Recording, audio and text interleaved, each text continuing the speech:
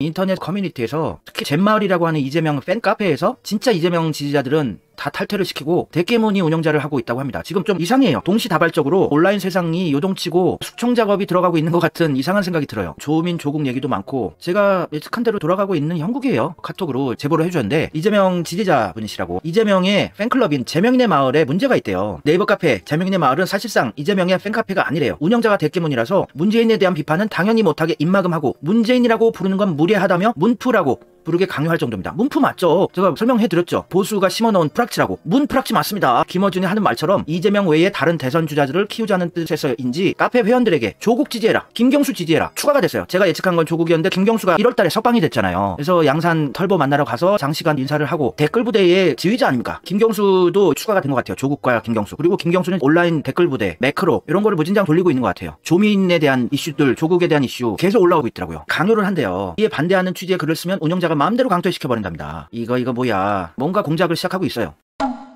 이재명 팬카페인데 사실상 이재명은 뒷전이고 온갖 민주당 인사들의 팬카페로 전락한 지 오래고 예전에 선거할 때도 이재명 죽이기 앞장선 이광재다 이재명 죽이기 한 놈들 후원하자 지지하자 난리를 쳤던 데예요. 민심이 굉장히 흉흉해지고 있습니다. 윤석열 정권의 치하에서 불경기다 이런 것들로 신음하는 분들도 있는데다가 민주계열 지지자들 찐 이재명 지지자들이 예전에 송가혁이라고 욕먹고 다구리 당하던 시절이 다시 재현되고 있는 것 같아요. 근데 그때보다 이재명 지지자들은 훨씬 많이 늘어났죠. 다행인데 이제 폭발할 것 같아요. 자꾸 이재명 지지자들을 압박하고 입막음하게 하고 이런 게 이미 이재명의 진성 지지자들은 거의 다 어이없는 이유로 문재인 김경수 조국을 같이 지지하지 않는다는 이유로 강퇴됐어요. 왜 비판을 못하게 합니까? 민주주의의 기본은 비판 아닙니까? 비판을 못하게 입을 꼬매버리고 손발을 잘라버리는 거는 공산주의 빨갱이 아닙니까? 이러고서 무슨 더불어민주당이에요. 보수 지지자들이 문재인 빨갱이라고 한 게 맞는 얘기네요 진짜. 저도 이재명 팬카페 대선 패배 이후 희망을 못 찾다가 거기서 잼딸분들이 열심히 으쌰으쌰 하는 모습 보고 저도 열심히 처음에 활동하다가 학을 띄고 안 간 지 한참 됐습니다. 홍위병 짓들을 하고 민주주의를 파멸로 몰아가고 있어요. 김경수까지 석방돼서 드루킹으로 댓글 부대를 돌리는지 몰라도 온라인 커뮤니티 분위기가 심상치 않게 변해가고 있습니다. 저에 대한 공격도 시작됐고 회원수 25만 명대의 대형 카페임에도 불구하고 활동하는 회원수는 많지 않습니다. 대깨문들이 카페를 완전히 장악했대요.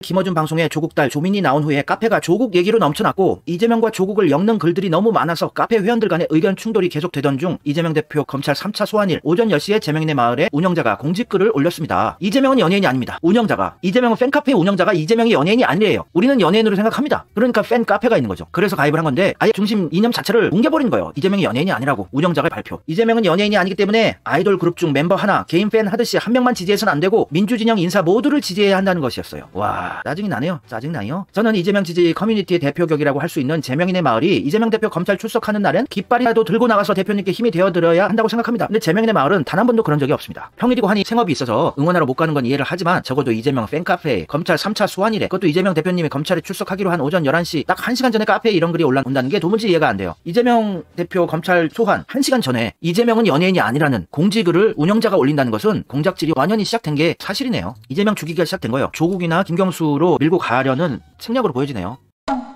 운영자의 공지글을 보고 화가 난 회원이 많았고 그 회원들이 이건 좀 아니지 않냐고 비판을 하자 운영자는 어젯밤부터 오늘 새벽 사이에 자신의 의견에 반대하는 모든 회원들을 다 강제 탈퇴시켜버렸습니다. 운영자 맘대로 무조건 강퇴시키는 바람에 남은 회원들은 옳은 말도 할 수 없고 그저 아이디 지키기 위해 숨죽이고 있을 수밖에 없는 상황입니다. 이런 일이 지금까지 1년 내내 계속 되어 왔기 때문에 이재명 지지자들은 갈 곳이 없어 DC 인사이드 이재명 갤러리에서 모이고는 있는데 아무래도 DC라서 그런가 활동에 어려움을 느끼는 사람이 많습니다. 대선 직후 엄청난 관심을 받아 회원수가 30만에 가까웠던 이재명님의 대표 팬카페인 재명이네 마을은 허울뿐이고 사실상 재인이네 마을, 털보네 마을, 조국 마을, 민주당 마을이 돼버렸어요. 수박 마을, watermelon town이 돼버렸습니다. 이재명 진성 지지자들이 네이버에 새롭게 이재명의 숲이라는 카페를 만들었는데 아무래도 대선 직후만큼 사람들의 관심이 폭발적으로 집중될 수 없기도 하고 홍보할 만한 수단이 전혀 없다 보니 홍보가 전혀 안 되고 있어 식물 카페 상태입니다. 사람들이 많이 방문해서 글 써주고 이래야 카페가 활성화되는데 홍보가 안 되죠. 게다가 지난 여름 이재명의 숲이 처음 생겼을 땐 재명이네 마을 운영자가 이재명의 숲에 가입된 회원들의 아이디와 재명이네 마을에 가입된 아이디를 대조해서 중복 가입되어 있는 회원들을 색출하여 강퇴시키는 일도 있었습니다. 야 지금 DC 인사이드 이재명 갤러리도 지난 8월까지는 대깨문이 운영자였는데 다행히 DC 인사이드는 게시판 이용자들이 게시판 관리자를 탄핵할 수 있는 시스템이 있대요. 아우 민주적이다. DC 인사이드 민주적이네요. 관리자 탄핵당했대요. 그래서 운영자를 바꿔서 정상화가 되었지만 스스로 운영자 자리를 내려놓지 않는 한 방법이 없는 네이버 재명이네 마을은 정상화가 불가능할 듯해 보입니다. 문제네요. 이재명의 진짜 지지자들이 모일 만한 커뮤니티가 필요한데 DC 인사이드는 아무래도 확장성이 없다 보니 네이버 카페 이재명의 숲을 잘 키워보고 싶습니다. 근데 잘 모르겠어요. 이재명의 숲은 어떤 분이 운영하는지 제가 모르니까 여기서 제가 섣불리 이재명의 숲에 가입하시라고 말씀드린 것도 좀 섣부른 결정인 것 같아서요.